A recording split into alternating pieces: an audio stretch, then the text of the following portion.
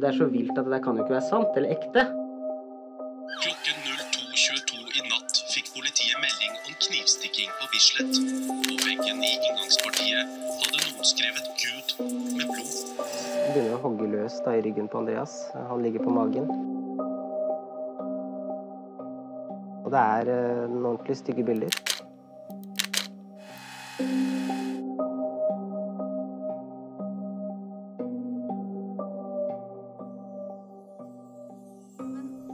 Dere, og velkommen tilbake til en helt ny forsvinningsfredag her på kanalen. Som dere har skjønt i en lang, lang periode nå, så er denne forsvinningsfredagen helt annerledes enn noe jeg har gjort tidligere. Det her er sånn jeg ønsker at forsvinningsfredagene skal være på kanalen min. Så gjerne gi meg litt feedback på hva du tenker om at jeg deler opp i to deler, sånn som nå, og at jeg på en måte inkluderer folk som er relevante i saken. I dag så skal vi snakke om halloween-drapet. Det skjedde i Norge i 2011 på halloween, halloween-natta, og jeg tenker egentlig at vi bare kan hoppe rett inn i det, for det her kommer til å bli en lang video. Det var tre nære venner involvert, hvor den ene av de gikk inn i en psykose og angrep de to andre. Andreas døde, mens Marius overlevde med 20 knivstikk i kroppen da han klarte å rømme fra situasjonen. Jeg tenker vi kan starte med selve handlingen. Hva skjedde egentlig? Marius Løken og Andreas Nilstad kom hjem til kollektivet som Marius bodde i sammen med to andre kompiser etter en bytur på halloween-natta. Gjerningsmannen hadde da bestemt seg for å ikke være med ut på byen den kvelden. Han ville ta det med ro. Marius drar tidlig hjem fra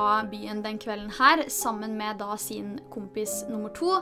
Og Andreas velger da å bli igjen på byen. Han hadde lyst til å være ute litt lenger, så Marius ender opp med å ta med seg verdisakene til Andreas hjem til leiligheten sin. Andreas kommer da hjem etter hvert, og planen var egentlig at han bare skulle hente verdisakene sine, og så reise hjem til seg selv, men det endte da opp med at han dro hjem til Marius og endte opp med å sove der fordi han ikke hadde noe han måtte rekke hjem til, så han og Marius delte da senga til Marius. Marius forteller videre at gjerningspersonen plutselig kommer brasende inn på rommet og begynner å hogge løs i ryggen på Andreas, som da ligger i samme seng som Marius. Andreas roper 'Hjelp meg, Løken!' Og det er først da Marius reagerer, så hans første tanke er da at han skal få gjerningspersonen av Andreas, så han tar da beina fatt tar og dytter til gjerningspersonen i brysthøyde, slik at han faller tilbake litt i klesskapet. Marius trekker seg da litt tilbake, og sier han 'hva er det du driver med?' Men det han ikke vet da, er at gjerningspersonen har gått inn i en psykose. Så det ender med at gjerningspersonen da går retta mot Marius og setter kniven i hjertet hans. Marius forteller videre at han slår til knivbladet for å komme seg ut fra leiligheten. Før han kommer seg ut av leiligheten, så blir han påført tre stikk. På vei ned oppgangen, ut på gata og videre inn i en taxi, så blir Marius truffet av kniven opptil flere ganger, og han er i en tilstand som er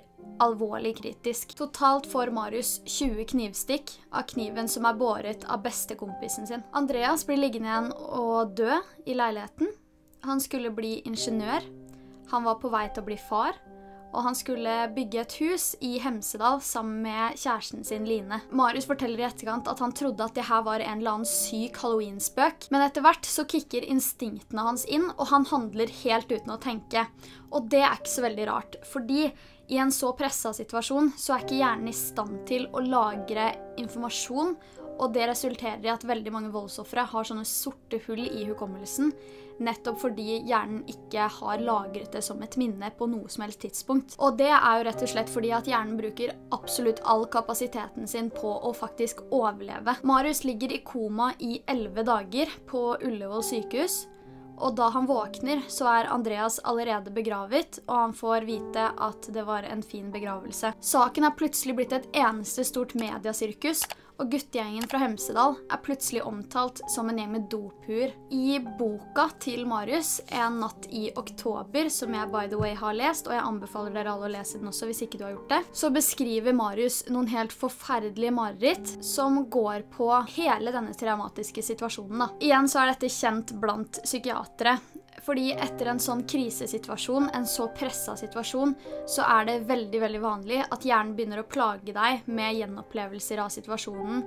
Gjerne gjennom mareritt, som går på om du kunne gjort ting annerledes, og hvordan du eventuelt kunne gjort det. Alt dette er fordi at hjernen ikke er i stand til å bearbeide det i øyeblikket, så den jobber på spreng i etterkant for at du skal være bedre forberedt dersom det skulle skjedd igjen. Det kan føles som at kroppen ikke er på lag med deg i det hele tatt, men faktisk så er det helt motsatt. Det kan sammenlignes med et sår, et fysisk sår.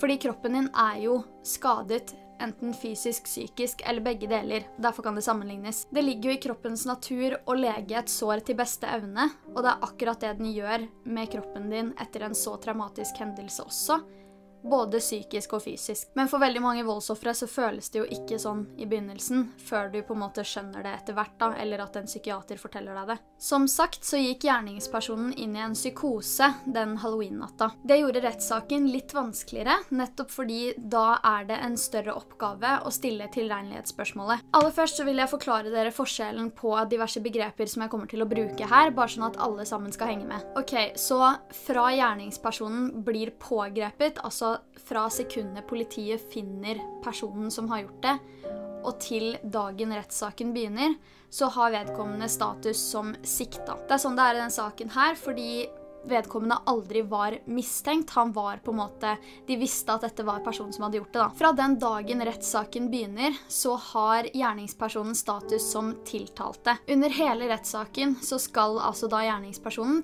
omtales som tiltalte. En tiltale er forresten et brev på en måte som blir tatt ut av statsadvokaten. Og det er på en måte et brev som blir gitt til retten, som innebærer veldig ofte hva som er en rettferdig dom i deres øyne. I denne saken her så innebar det en strafferamme på 16 års fengsel. Det vil altså si at statsadvokaten mente at 16 års fengsel var den straffen som var rettferdig å gi til denne gjerningspersonen. Jeg vil også bare nevne det at hele det brevet tar utgangspunkt i lovverket og paragrafer og alt dette opplegget her, men det er veldig komplisert, så jeg skal ikke begynne å forklare det, for det blir på en måte en helt annen sak. Tiltalen er noe dommeren tar utgangspunkt i i rettssaken, men dommeren kan selv velge om det blir den endelige dommen eller ikke da, utover i rettssaken, og på en måte hvordan ting foregår. da. Gjerningspersonen får status som domfelte fra den dagen han har fått dommen sin. Som jeg har nevnt to ganger nå, så gikk gjerningspersonen inn i en psykose den natta, og bear with me, det her kan bli litt komplisert. Det er dette som var komplisert med rettssaken. I Norge så er det forskjell på en psykose i medisinsk forstand og rettsmedisinsk forstand. I norsk lov så er du regna som uskyldig dersom du hadde en psykose i gjerningsøyeblikket. Da sier man at du er utilregnelig, og da spiller det ingen rolle om du utførte handlingen pga. psykosen eller ikke. Det er fremdeles et frikort. Men det frikortet gjelder ikke dersom psykosen er rusutløst. Vil si at du har drukket alkohol eller vært under påvirkning av andre rusmidler i gjerningsøyeblikket. I norsk lov er du da tilregnelig, nettopp fordi du selv valgte å ruse deg da du var i en tilstand hvor du fremdeles kunne gjøre rede for deg. Og dermed så kan du fremdeles straffes med fengsel. Det gjelder jo selvfølgelig bare hvis rusen er selvpåført, og ikke hvis du f.eks. er neddopa på en fest eller hva enn det er jo på en måte en helt annen greie. Men det norske lovverket er også åpen for tolkning. Så dersom du f.eks. hadde en psykisk diagnose i bunnen av som, du, som hadde utløst psykoser uten rus tidligere, men at du tilfeldigvis var rusa i dette gjerningsøyeblikket her, så er det opp til behandlerne å ta en vurdering på om rusen hadde en påvirkning på psyk psykosen eller ikke. I Halloween-saken så innebar tiltalen en strafferamme på 16 års fengsel for drap, drapsforsøk og for å true noen med kniv. Alle de sakkyndige mente at gjerningspersonen medisinsk var psykotisk, men påtalemyndighetene mente at gjerningspersonen hadde en rusutløst psykose. Ifølge behandlerne på Dikemark psykiatrisk avdeling så er det forskjell på symptomene når det kommer til om psykosen er rusutløst eller ikke. Hvis det ikke hadde vært forskjell på det, så hadde det jo vært ekstremt vanskelig å bedømme hvorvidt den hadde påvirkning eller ikke. da. Dersom psykosen ikke er rusutløst, så er det mer vanlig å stille eksistensielle spørsmål og å ha bisarre og rare tanker. Mens hvis en psykose er rusutløst, så er det mer vanlig å ha synshallusinasjoner. Men det er jo også mulig å ha begge deler. Det kan fremdeles gå i hverandre. De sier også at en rusutløst psykose ofte varer mye kortere også, så i rettssaken så ble det da stilt spørsmål om ok, hvor lenge varte den psykosen her og sånn. I Halloween-saken så endte det opp med at gjerningspersonen ble dømt til tvungen psykisk helsevern, og det vil si at du blir dømt til å få tvungen psykisk behandling fremfor fengsel. Gjerningspersonen fikk diagnosen akutt schizofrenilignende psykose i stedet for å bli diagnostisert med schizofreni eller at han fikk fengselsstraff. Gjerningspersonen ble sluppet ut etter å ha vært 18 måneder i psykiatrien. Over til noe litt mer positivt. Marius begynte å holde foredrag etter hvert om den hendelsen her, fordi han ønsket å spre budskapet, og han ønsket å og dele sin historie med mennesker. da. Tidligere i år så runda han faktisk over 200 foredrag. I tillegg så har han jo gitt ut en bok jeg så vidt nevnte, nemlig 'En natt i oktober', som kom ut i 2016. Jeg kommer til å linke den her i infoboksen, sånn at du kan lese den hvis ikke du har gjort det. Den boka der blir også gitt ut i lydbok på halloween 31. oktober, så hvis du har lyst til å høre boka istedenfor å lese den, så kan du vente til å se min neste video, så kommer jeg til å linke den i infoboksen der. Marius har vært på programmer som Lindmo, God morgen Norge og også Vårt lille land. Han har også gjort enorm suksess med å fortelle sin triste og bisarre historie med både unge og voksne. Men denne korte videoserien skal handle om den faktiske historien, hvordan Marius opplevde det, og hele historien blir fortalt fra Marius sitt perspektiv. Og jeg håper at dere er interessert i å høre hans historie. Er så nervøs. Jeg vet ikke hva jeg skal ha på meg, hvordan jeg skal fremstå, hvordan jeg skal bare Jeg vil liksom at han skal tenke sånn her Å, fy faen, hun her hun har peiling på greiene sine, liksom. Jeg vil at folk som ser videoen, også skal tenke at det her er dritbra, at det, fy fader, hun har jobba hardt med det, liksom. Det er jo akkurat det jeg har lyst til at folk skal tenke, og så blir jeg så nervøs og bare overtenker og holder på. Jeg tror ikke Marius Løken bryr seg om hva jeg har på meg når jeg skal intervjue han. Det er jo noe med det. Litt sjokolade er lov. Helsike, altså.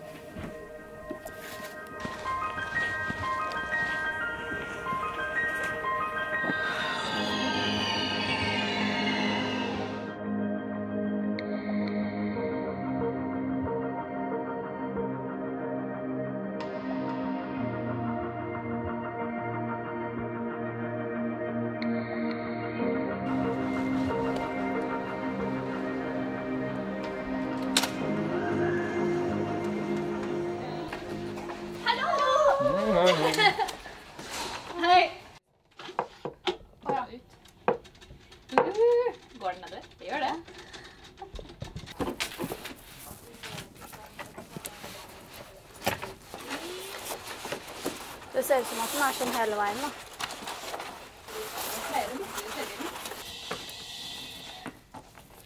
Ok, Vi burde faktisk ha den litt lenger ned. Jeg måtte ta den med.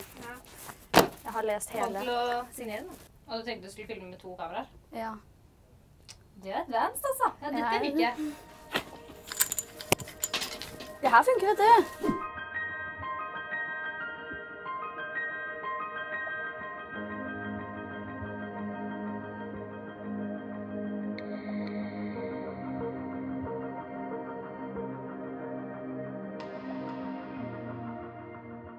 Ja, men jeg er skikkelig redd for at jeg liksom sier noe feil eller noe sånt. Han er jo en, en sosialt eh, oppegående fyr, og for det andre så holder han med masse foredrag og sånn, så han er jo vant til å få liksom, en curveball hvis noe skulle gått helvete. Men ok, hva er, det som er, hva er målet med denne praten? Målet med dette er å få frem hans historie Ja. og hans, eh, hans følelser rundt det. Ja. Og at det ikke skal være sånn du bare kan liksom søke opp. Og da må du bare, du kan jo spørre han liksom i forkant da, om på en måte, Har du noen grenser? ja, Hvor går grensa? kodeord, du må ha et sånt kodeord. Sånn. Vær deg sjøl. Om jeg stresser, eller? Herregud. Det er ikke noe stressende i det hele tatt. Det kommer til å gå dritbra. Kameraet er satt opp, og alt er bare å trykke rekk, og så kjører vi på. Skal vi se låserutinene? Ja, det kan vi gjøre.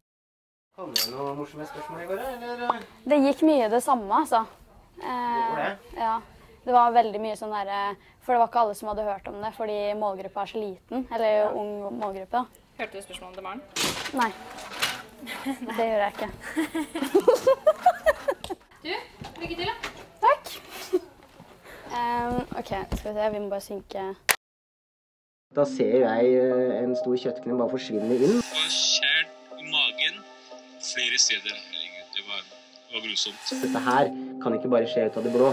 Politiet pågrep en skadet mann i 20-årene på stedet. Var det litt sånn at du hadde litt sympati for han?